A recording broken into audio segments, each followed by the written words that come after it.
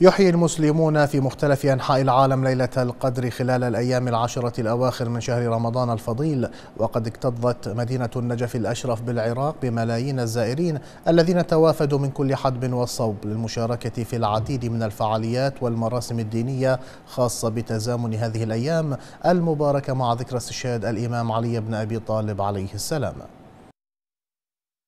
أحيا المؤمنون في مدينة النجف الأشرف ذكرى استشهاد الإمام أمير المؤمنين علي بن أبي طالب عليه السلام وليلة القدر العظيمة.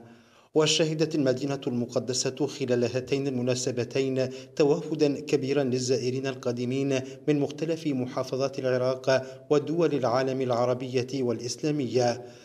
وتعيش المدينة خلال هذه المناسبة أجواء خاصة حيث تشهد إقامة العديد من الفعاليات والمراسم الدينية. حضرنا اليوم من محافظة ديقار من الناصرية لزيارة سيدنا ومولانا الإمام علي عليه السلام. كما نرجو وندعو إلى أخواننا في الحشد الشعبي والذين هم يقارعون أدوات الظلم والتكفير بكل ما أوتم القوة نسأل الله العلي القدير أن يمن عليهم بالنصر المؤزر. وبهذه المناسبة أسأل من الله العزيز القدير أن ينصر جيشنا الباسل وقواتنا في الحشد الشعبي إن شاء الله. أمنيا تعزز السلطات الحكومية في المدينة وباقي محافظات الوسط من إجراءاتها وخططها الأمنية والخدمية تحسبا لأي طارئ قد يهدد أمن المدينة والزائرين. ولا يفوتني أن أتوجه بالشكر الجزيل إلى الجهات الأمنية وخدام آه، الإمام الحسين بهذه المناسبة العظيمة بهذا المصاب الجلل. ولا يفوتني أن أتوجه بالدعاء إلى الحشد الشعبي وإلى قواتنا الأمنية الرابضين على جبهات القتال.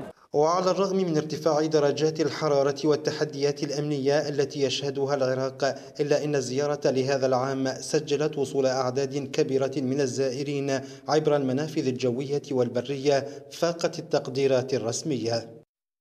كما تضم محافظة النجف الأشرف مواقع مقدسة أخرى ذات صلة بحياة الإمام علي تحظى هي الأخرى بقدسية ومكانة لدى المسلمين. أهمها موضع استشهاده في مسجد الكوفة المعظم ودكة القضاء ومقام بيت الطشت بالإضافة إلى البيت الذي كان يسكنه وعائلته عليهم السلام.